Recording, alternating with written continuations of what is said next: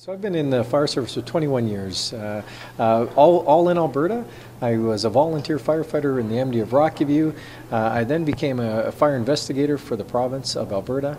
Um, did a short stint in the city of Airdrie as assistant chief, firefighter EMT, and then the last nine years been in the city of Calgary, both with the Calgary Fire Department as well as Calgary Emergency Management Agency before taking on this new journey with the city of Red Deer. Where's home for you? Home Calgary, born and raised uh, in Calgary. I've, we've lived the last uh, several years in the city of Airdrie, but uh, I do have to say Calgary is home.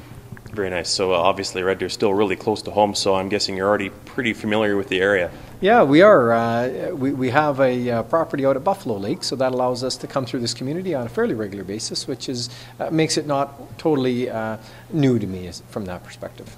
So what do you know about what you're getting into, both the, the city of Red Deer in general and Red Deer Emergency Services? Yeah, you know, it's a combination of a few things. And in fairness, I, I, am learning a lot more about the Red Deer Emergency Services.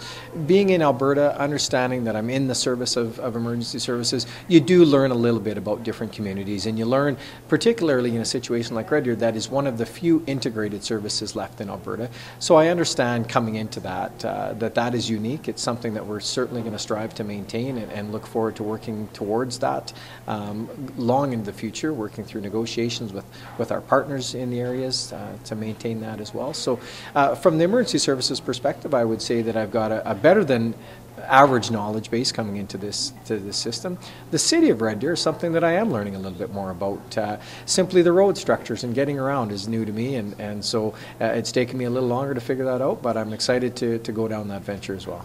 Uh, obviously, being from Calgary, you have experience with a, a, bustling, growing community, and Red Deer, much the same. Does that present uh, its own unique set of challenges?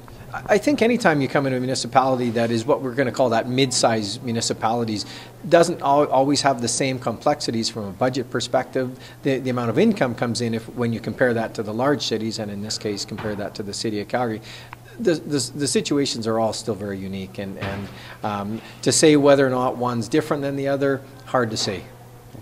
A lot of new fire halls, a lot of new uh, infrastructure that you get to work with here in Red Deer.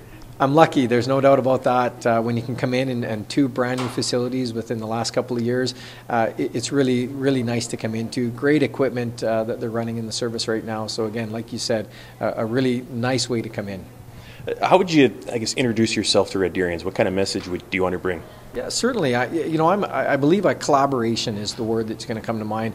Relationships. I'm about getting to know people, not only internally but externally as well, and getting out into the community. You'll see me at those community events, and I hope that I'll be welcome at those community events. I believe in getting part of the community, and, and doing so is about getting out. And just circling back to the sort of integrated uh, structure of Red Deer Emergency Services, uh, how much are you looking forward to, you know, working alongside um, like emergency res emergency responders and RCMP and the like? You bet, and and, and I think you, you hit a couple on the head there that I'm really interested in getting some conversations going earlier than, rather than later. Partners with the RCMP, the uh, municipal partners within the city of Red Deer. I'm really looking forward to those conversations. Uh, I'm sure wonderful things have happened before me. I want to make sure that those continue moving on.